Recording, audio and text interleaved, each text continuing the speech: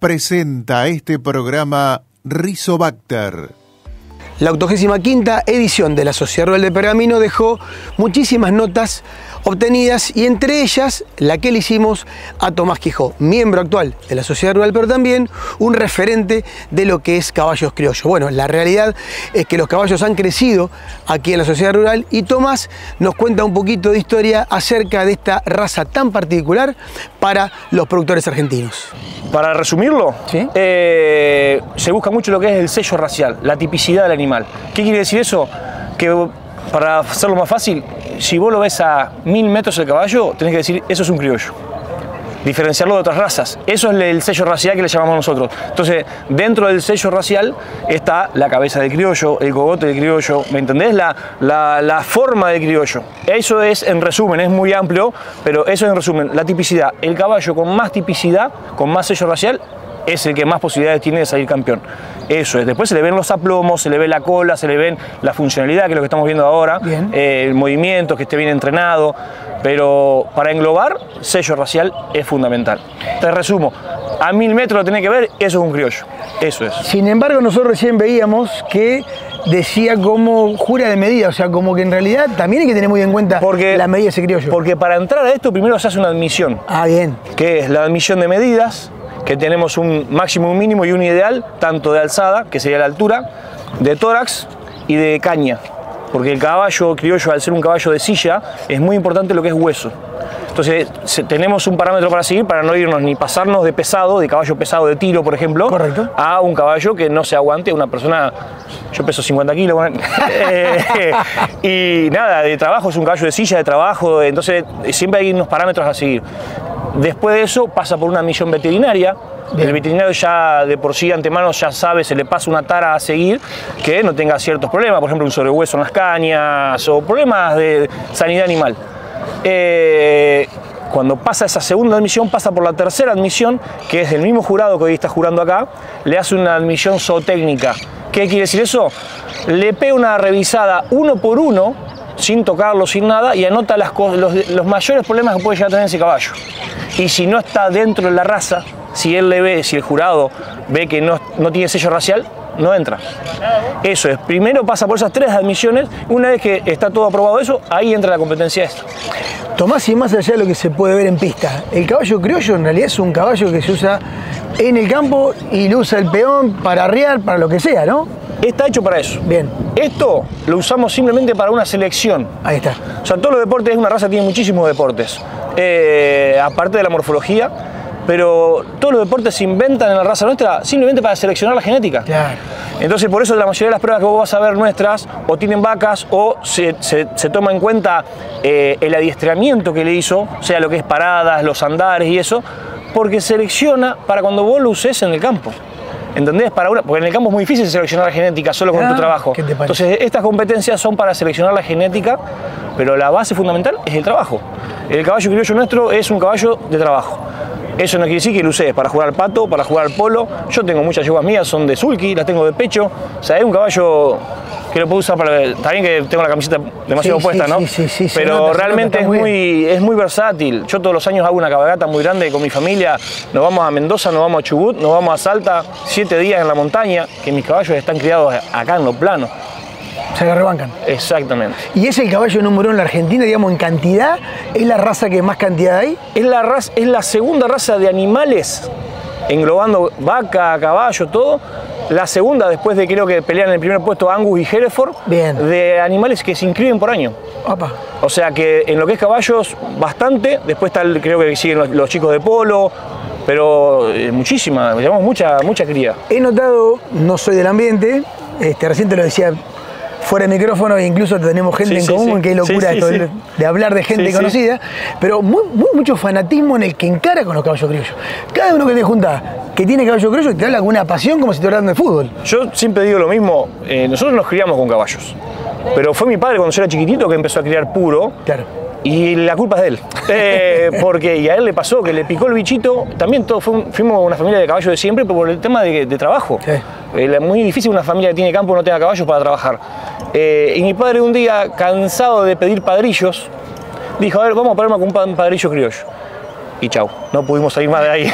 Eh, compró el primer padrillo y ahí empezamos y después dijimos, bueno, y los puros comen lo mismo y pisan lo mismo que un mestizo y así empezamos y chau. Y hoy mi vida, mi, o sea, mi estilo de vida es en base al, criollo. la verdad es esa, mi familia, mis hijos y mi señora están es un estilo de vida. Eh, así que sí, es así. Vos sabés que el que se mete es muy difícil que no lo defienda.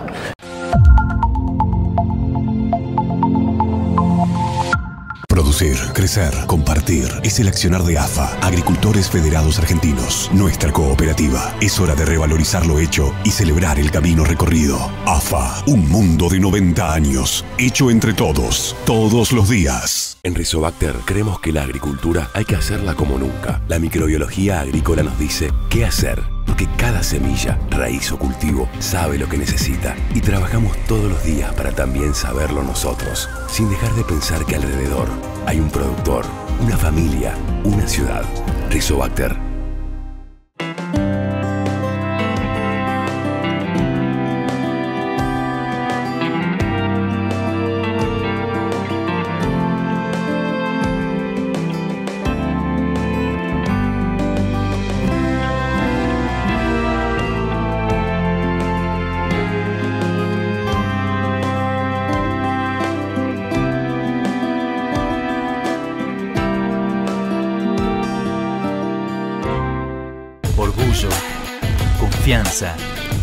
calidad. Así que somos Tecnomil, los creadores de Atramil. Te invitamos a conocer nuestra línea completa de fitosanitarios pensados y desarrollados para ofrecerte soluciones en cada etapa de tu campaña. Tecnomil. Crecemos en la misma tierra. www.tecnomil.com.ar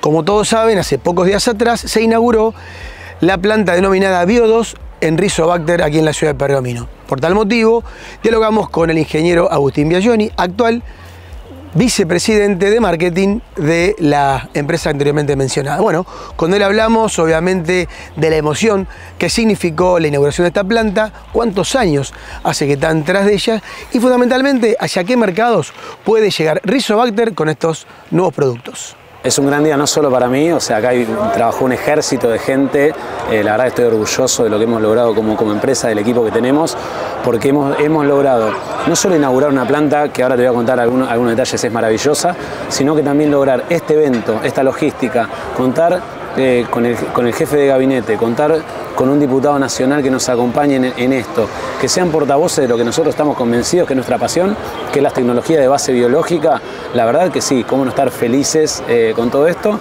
así que no, es que uno esté como estrella, sino que uno está feliz, y, cuando uno está feliz lo, contagia y le gusta compartirlo.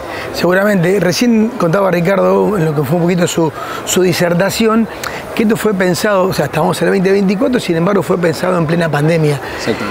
No es fácil en un país como este, con tantos cambios este, políticos y económicos, más aún lograr semejante este, inversión pensado no solamente en el corto plazo, sino en lo que se viene, ¿no? Bueno, totalmente, pero la respuesta a eso es Rizobacter tiene 47 años. Si vos mirás todo lo que pasó en la historia de Rizobacter, si Rizobacter hubiese estado mirando netamente la coyuntura, probablemente no, no, seguramente no sería la empresa que es, y seguramente hubiesen pasado montones de cosas donde la empresa hubiese cambiado el rumbo eh, y, hoy en día no estaríamos acá donde estamos. Nos caracterizamos por una empresa que tiene una visión clara, está convencida y entiende que la coyuntura en Argentina eh, es cambiante y eso es estructural. O sea, en Argentina la única constante es el cambio, entonces estar preparados para eso nos ha dado una característica de resiliencia que nos permite estar preparados para abastecer demandas de cualquier, de cualquier país, entender cuando algo cambia y un ejemplo de esto es eh, Nosotros lanzamos este año, teníamos un producto para chicharrita que por la, dinámica de la plaga lo teníamos biológico en Paraguay y en, Brasil. que cuando vimos que esto empezaba a acontecer acá en Argentina, nos metimos fuerte con la parte de, registro como para tenerlo, para tener regulatoriamente eso acá en Argentina. Correcto. Trabajamos, hoy en día tenemos ese producto, esta campaña y ya, ya está disponible. Ese tipo de flexibilidad, esa forma de reaccionar y todo eso te da las dos cosas. La confianza para que la gente eh, crea en tus tecnologías y al mismo tiempo la confianza en, la, en que la gente sabe que vos vas a hacer lo necesario para que cuando esté la necesidad, pongas la necesidad y donde la necesita el productor. Y esta campaña eso va a ser más necesario que nunca. Yo creo que tanto para maíz como para soja va a ser necesario pensar y replantear muchas cosas, porque lamentablemente, además que no nos acompaña la lluvia, este año no nos acompaña las calidades. Con lo cual, sí o sí vamos debajo, detrás de los tratamientos profesionales de Rizobacter. Ah, diste, en un punto impresionante. En Argentina, eh, en Argentina, este año particularmente con lo que es calidad de semilla y demás, estamos viendo, eh, estamos viendo cuestiones eh, muy importantes que vamos, a tener, que vamos a tener que atacar y ahí el tratamiento de semilla va a ser clave el tratamiento de semilla, no solo para proteger la semilla cuando esté, eh, cuando esté eh, en el suelo, sino también para una semilla dañada, no, hacerle, digamos, no alterar eh, más aún SPG. Así que en, ese sentido las tecnologías que tenemos van a ser claves, todo lo que es el portafolio tanto químico como biológico que tenemos, lo que es rizoderma, lo que son los inoculantes, son claves y el tratamiento profesional de semillas. En Argentina, fruto de que el mercado es mayoritariamente de aplicación en el campo, no, no va tanto en ese sentido, pero en otros mercados, en Brasil, por ejemplo, el 80% del mercado profesional de tratamiento de semillas es con tecnología Rizobacter. Y ahí sí que, es, si querés, e, esa es la pretemporada Brasil de los inoculantes, porque lo pones, imagínate lo que es el cerrado brasilero y tenés que hacer que un risobio sobreviva sequito arriba de la semilla en esas condiciones. Ahí, si sobreviven ahí, acá en Argentina, está claro que son las mejores tecnologías. Hago, por último, tuvimos la suerte de la mañana de recorrer lo nuevo de la planta. Bueno, para quienes no tienen esa suerte, contale en breve qué es lo que justamente se inauguró el día de hoy. Bueno, primero que nada, extiendo a través de ustedes una invitación para que todos los que están relacionados con el sector nos visiten. O sea, pueden, eh, por medio de ustedes, tienen acceso a mi, a mi información, nos vienen a visitar las veces que quieran, porque estamos orgullosos de mostrar esto. Nosotros hoy, digamos, estamos mostrando una primera estación que es el proceso de producción y nuestra planta hasta el momento, contando cómo nosotros monitoreamos cada lote, la calidad en planta, o sea, no solo en el laboratorio, sino en plantas de soja reales, en, en lo que es inoculantes, y después de ahí pasamos a nuestra nueva planta. Nuestra nueva planta nos da un 50% más de capacidad y en capacidad total hoy en día nosotros, si hiciésemos solo inoculantes para soja, podríamos estar abasteciendo 50% de la soja eh, que se siembra hoy en el mundo con producto producido acá, con la calidad que ya te mencionaba antes, que es de las mejores del mundo.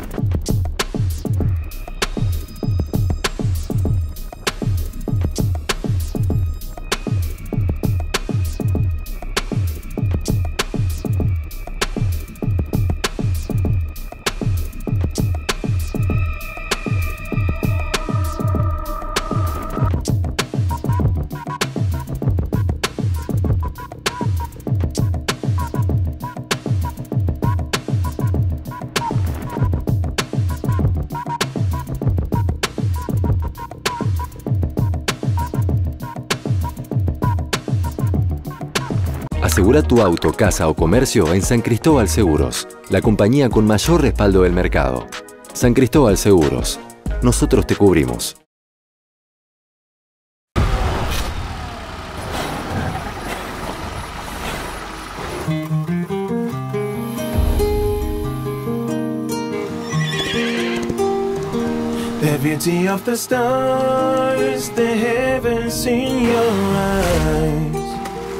Still at it from the start. Your heart is on the line.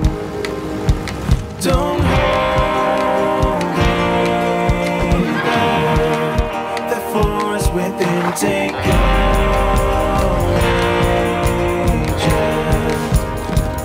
Still it from the start. Your heart is on the line. In everything, I want to see you. Nueva Amarok. Fuerza que nació para el campo. Volkswagen. En la ciudad de Rosario se llevó adelante el seminario Axoja. Así tuvimos la suerte de dialogar con Ignacio Rico, quien nos cuenta, entre otras cosas, que la empresa EWA tiene evaluadas más de 10 millones de hectáreas en diferentes países. Bien, EWA es una empresa argentina que nace hace 10 años eh, con la misión de acelerar la generación de conocimiento agronómico en el agro. Eh, este, y es una plataforma digital que hoy está eh, presente en Estados Unidos, Brasil y Argentina y es usada por los principales equipos de investigación y desarrollo para todo lo que es eh, mejoramiento genético y gestión de ensayos, gestión y análisis de ensayos. Procesamos hoy entre 2 y 3 millones de parcelas eh, por año a nivel global y lo que hacemos es ayudar a equipos de investigación a tomar mejores decisiones en función de tener los datos más ordenados y más procesados para el análisis. ¿Cómo se trabaja en tres países tan diferentes, con realidades tan diferentes y con situaciones agronómicas tan diferentes? Sí, y, y, eh, ah, y antes de responderte a eso, EWA, esa es la principal vertical que hoy ha desarrollado, pero no es la única. Hoy también estamos trabajando con productores también. Eh, y yendo a tu pregunta, ahora después te cuento lo de productores, eh, hoy trabajar eh, con, otros países eh, tiene el desafío de, de adaptarse, de entender muy bien cómo se, eh, cómo se, se llaman a, a los distintos, a las distintas partes del agro en cada país, adaptarte a las distintas unidades de medida, a las distintas culturas. Eh, lo principal es entender que eh, la tecnología va avanzando y eso te permite independizarte mucho más de cuán local es cada agricultura.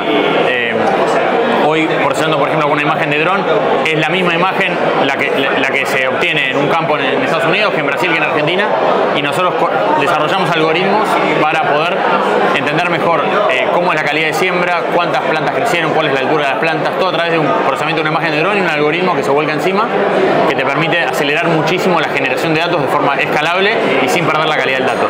Esa es la vertical de negocio que tenemos con empresas de insumos.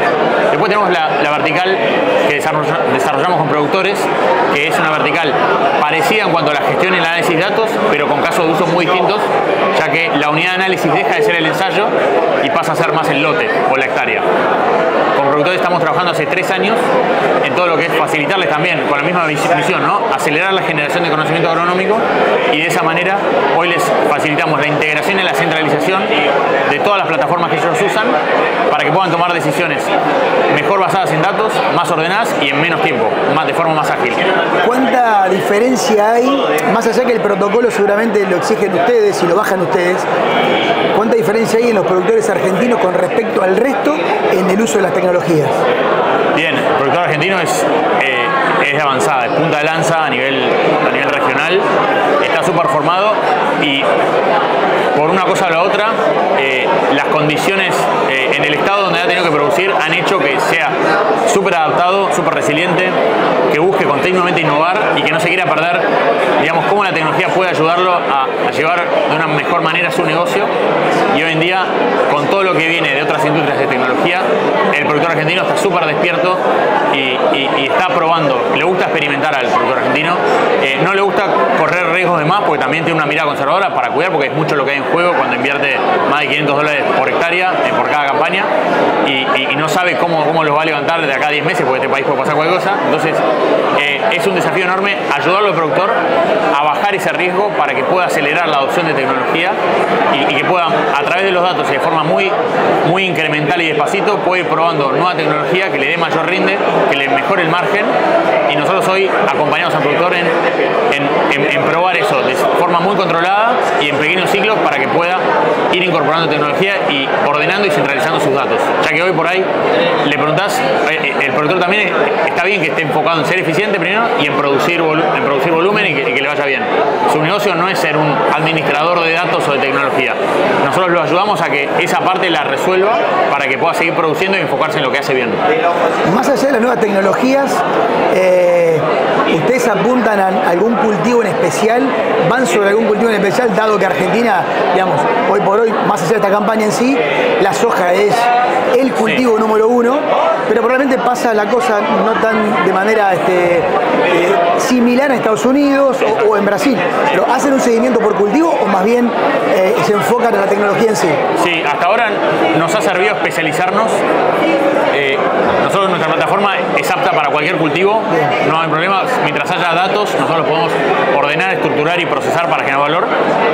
Pero dicho eso, nos ha servido ir especializándonos en distintos cultivos que productores en Brasil, Estados Unidos y Argentina usan lo mismo, que son los extensivos, soja, trigo, maíz, girasol eh, y todos los otros cultivos extensivos que hoy aplica un productor en su rotación.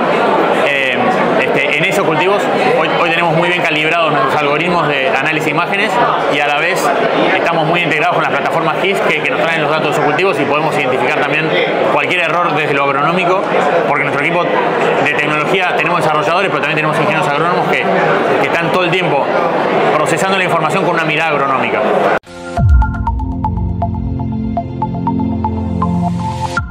Nos despedimos, esto ha sido todo por hoy, no sin antes anunciarles que el día viernes vamos a estar presente en lo que será la cena aniversario de los 60 años de la Sociedad de Cerealistas aquí en la ciudad de Pergamino. Con ustedes nos encontramos en siete días. Esto ha sido Agrodifusión Noticias. Presentó este programa Alra Pergamino.